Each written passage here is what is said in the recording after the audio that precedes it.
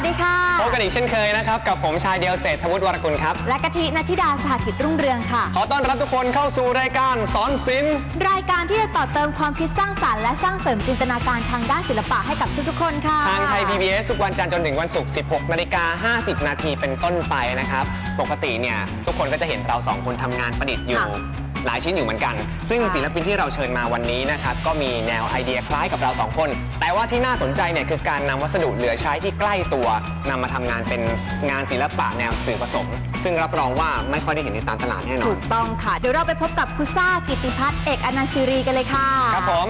ครูสวัสดีครับสวัสดีค่ะโอ้โหนี่คืองานของครูเองใช่ไหมฮะ ใช่อลัคงรับการมากเลยค่ะครูซ่าผมค่ะ อ่านี่วัสดุ นี่นี่จะเป็นชิ้นย่อยอยู่ครับ อันนี้คือชิ้นย่อยเหรอคะ ครับครับ วัสดุที่กะทิเห็นนี่เป็นเหมือนวัสดุเหลือใช้ของครูซ่าหรือเปล่าคะทั้งหมดใช่เลย ครับอืม มันไม่ใช่ของผมทั้งหมดครับ มีแย่งหลานมาบ้างแย่งหลานแย่งชาวบุ้งชาวบ้านเขาครับ มาแย่บ้างงหลานก็ก็มีคือครับ ไม่ไม่รู้ว่าได้มาโดยบริสุทธิ์หรือเปล่านะครับ จากที่เราไปเดินตามครับ ริมรั้วชาวบ้านก็มีค่ะฮะอ่า คือวัสดุที่เหลือใช้ที่ชาวบ้านเขาทิ้งกันที่เขาไม่เห็นค่ามันแล้วอืมอ่าเราก็เริ่มมาให้ค่ากับเขาเอออ่าเฮ้ยเดี๋ยวก่อนอะอายุการใช้งานอย่างเงี้ยครับครูครับนานไหมฮะแต่ละชิ้น ทุกชิ้นเมื่อมีฝรั่งมีฝรั่งมาซื้องานของครับอาจารย์ไปเนี่ยเขาต้องดูคุณค่ากับเราว่ามันอยู่ได้ถึงร้อยปี อุ้ยระวังร้อยปี เดี๋ยวกร้รออยบปีแตกเลยหเหมรดอคะไม่แตกร้อยปีนี่ต้องแข็งแรงใช่ไหมครัคะบวางได้ใช่ไหมคะ ครับฮะฮะ โอเค ตอนนี้ผมเชื่อว่าทุกคนอยากดูแล้ว ครับ ครูช่วยเริ่มสาธิตให้เราได้ชมกันเลยครับ โอเคครับ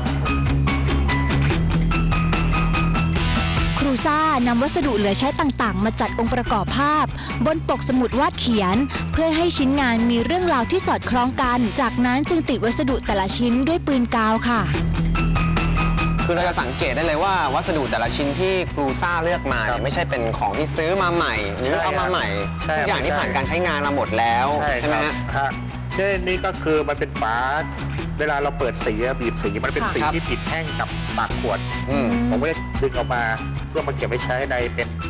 มันเหมือนเป็นจุดเป็นเสน่ห์เล็กครับๆมันอาจจะไม่มีอิทธิพลอะไรเยอะแต่มัมันนเหมือนจะเป็นลูกเล่น เป็นลูกเล่นใช่ใช่ครับใช่ใช่ใช่อืมตัวเมนหลักๆมันก็จะเป็นพวกเฉพาะพวกเพนใหญ่ๆแต่พวกเพนเล็ก ๆ เช่น พวกกาวที่ผมทาติดบนกระดาษครับให้มันเป็นรูปประหลาดๆผมว่าก็นำมาใช้นะครับ ใช่ครับถ้าให้มันเป็นลูกเล่นขึ้นมาใช่ครับ ใช่ใช่ดึงออกมาแล้วมาวางแปะอืมนะฮะครูซ่าคะแล้ววัสดุอุปกรณ์แต่ละชิ้นที่นำมาจัดวางเป็น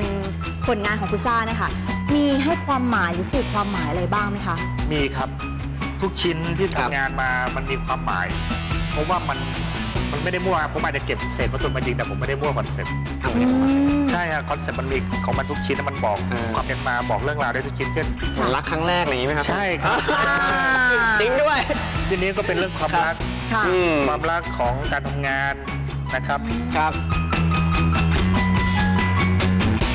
เมื่อติดวัสดุจนเป็นภาพที่ต้องการแล้วนะคะครูซ่าก็พ่นสีสเปรย์สีทองลงไปจนทั่วทั้งภาพ และพ่นสีดำและสีน้ำตาลทับลงไปบางส่วนเพื่อทำให้ชิ้นงานมีความน่าสนใจมากขึ้นค่ะ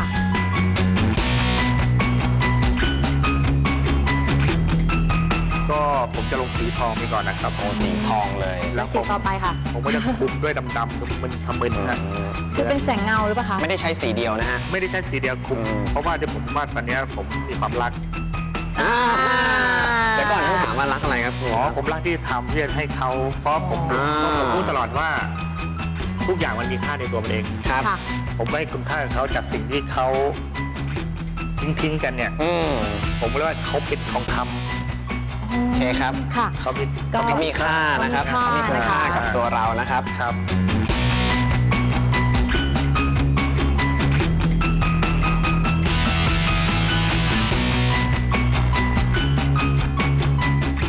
ก็เสร็จเรียบร้อยแล้วนะคะโอเคผลงานของครูซ่านะคะขอโชว์นิดนึงนะคะ ครับได้ครับผมค่ะ ครับครูครับแล้วตัวงานชิ้นนี้เนี่ย concept ของเขาคืออะไรครับครูครับอ๋อ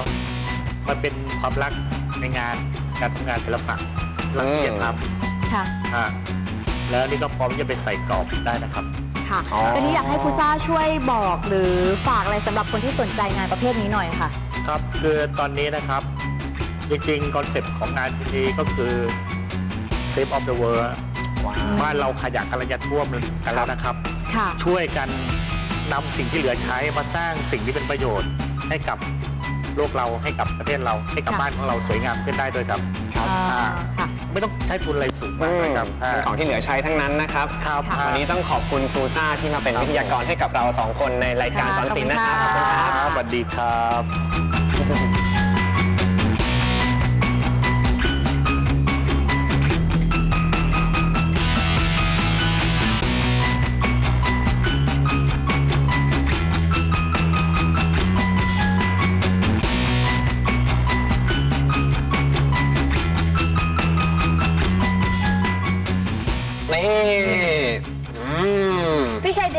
ไม้มาทำกับข้าวเหรอคะ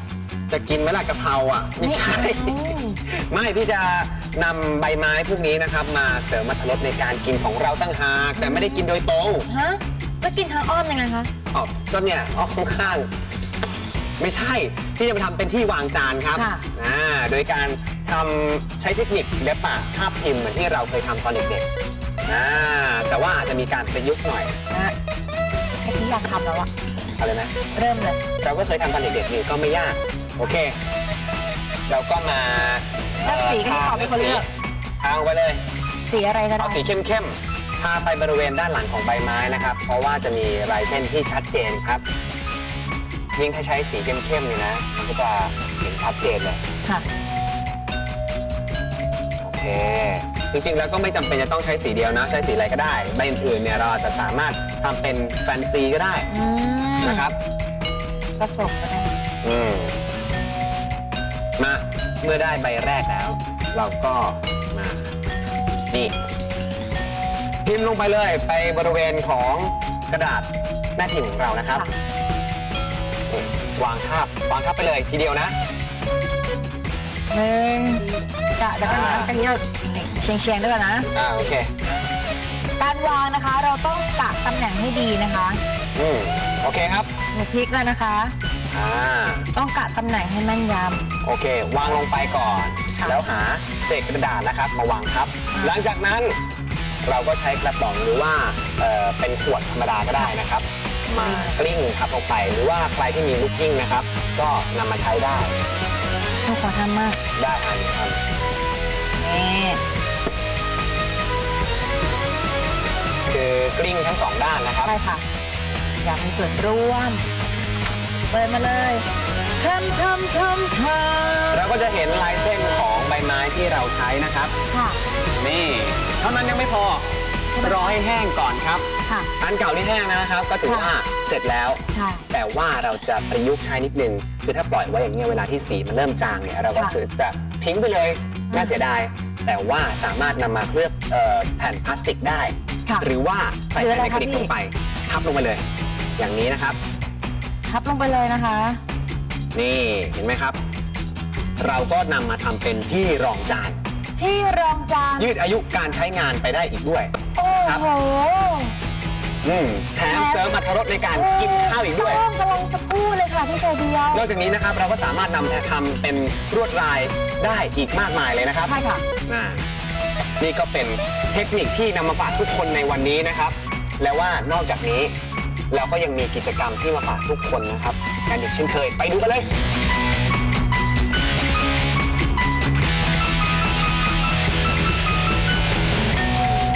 สำหรับวันนี้ค่ะก็หมดเวลาของกะทิ แล้วก็พี่ชายเดียวแล้วค่ะ พบกับเราได้ใหม่วันไหน ทุกวันจันทร์ถึงวันศุกร์ค่ะ 16นาฬิกา50 นาทีในรายการอะไร สอนศิลป์วันนี้สวัสดีครับ สวัสดีค่ะ